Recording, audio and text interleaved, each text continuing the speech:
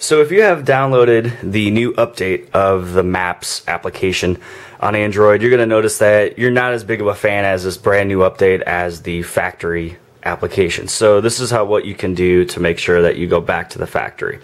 So once you go into your menu and settings, underneath here you're going to head into where it's called application manager. So inside of application manager is where you can manage your apps um, anything that's running downloaded and just all of them all together. So what you're going to want to do is you're going to scroll down to where you can see maps. You click on maps. You go on the very top where it says uninstall updates. And so what that's going to do is just going to put it right back to where it was you know, factory whenever you got the phone. And then the next step that I always suggest for people to do is to head out of there. And now that, yes, Maps is not there anymore, Maps is one of those applications that always have to um, update themselves. So what you're going to want to do after that is head into the Play Store.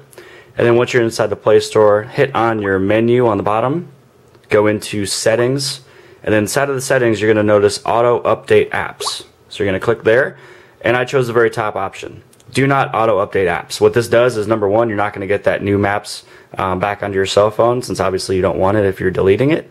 The other thing is that it's actually going to be saving your battery as well as your data because then it's not going to be running in the background. Or if you do have it chosen on the Wi-Fi only, um, still again, once you go home and you have Wi-Fi and you connect to it, that new maps is going to get auto updated for you.